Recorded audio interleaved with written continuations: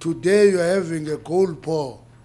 You've created new jobs. You are beginning to uh, claw back the ground that was lost. We must begin to talk positively about our industry. It's a good industry.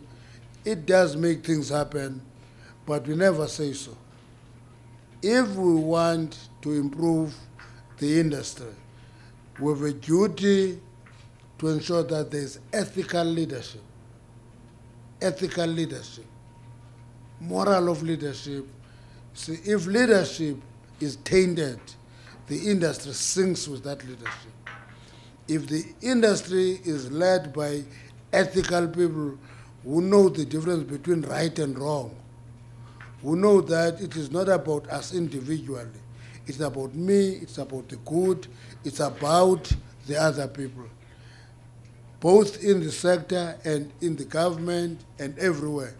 I can tell you that the image of the industry will change only when we are consistent about not stealing the resources of society will our effort be respected.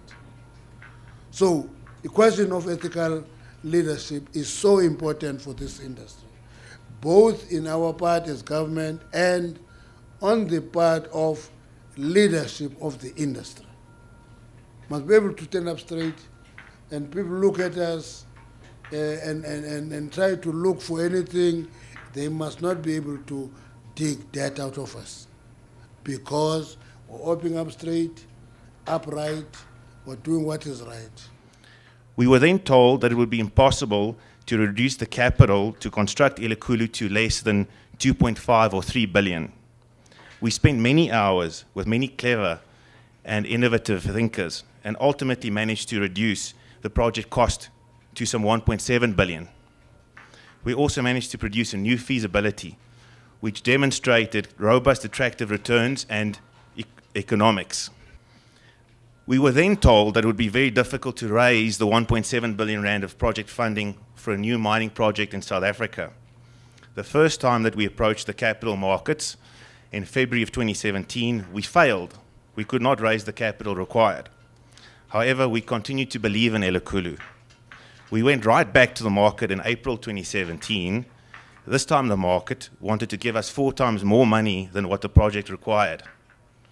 We also found supportive banking partners willing to invest in the South African mining industry in the form of Rand Merchant Bank, Nedbank, and ABSA.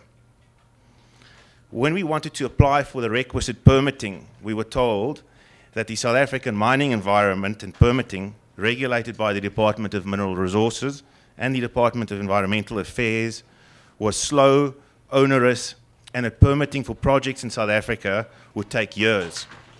We disregarded the naysayers we worked with the departments concerned, and we were very impressed with all of the officials with their dedication and their professionalism. We received all of our critical permitting within six months, which is exceptional. When it came to construction, we were told that to build a plant of this magnitude, which will process 1 million tons of tailings a month, would take years. Ultimately, the construction amounted to, to, uh, to more than 2.5 million man hours. We have used more than 2,000 tons of steel, poured 40,000 cubic meters of concrete, and moved over 6 million cubic meters of earth in constructing Elikhulu. We broke ground only in September 2017. It will therefore be less than one year from when we commenced construction to full commissioning. So, ladies and gentlemen, what we see before us today, Elikhulu, is testament to the art of the possible. It demonstrates what can be achieved when business, government, regulators, capital providers, and communities work together. It proves that as a South African mining industry, we can deliver new, long life, low cost mining projects to the benefit of all of our stakeholders. Nowhere else in Africa would we have been able to deliver a project of this scale within this time frame. During construction, Elikhulu provided more than 1,700 employment opportunities. We previously indicated that when producing, Elikhulu would provide some 250 new permanent jobs. I'm today pleased to announce that the number of new jobs has now risen to almost 400 permanent employees on the Elikhulu site. During construction, more than 50 local and community, community businesses were delivering goods and services to the project. Most of Elikhulu's electrical instrumentation contracting was done by a local contractor. We will continue to develop new community businesses to provide services to Elekulu and Evander.